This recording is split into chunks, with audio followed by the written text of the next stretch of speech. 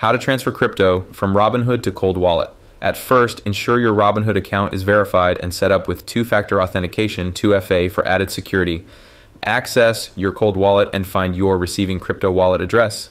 This is usually found under a section titled Receive Funds or similar.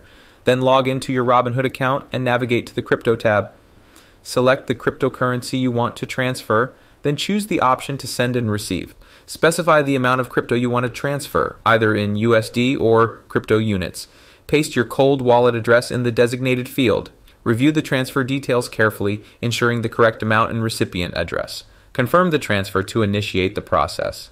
Monitor the transaction status within Robinhood to ensure it is processed successfully. Depending on blockchain processing times, it may take some time for the transfer to be completed. Be patient and wait for confirmation. Once the transfer is complete, verify that the crypto has been successfully deposited into your cold wallet. Thanks for watching.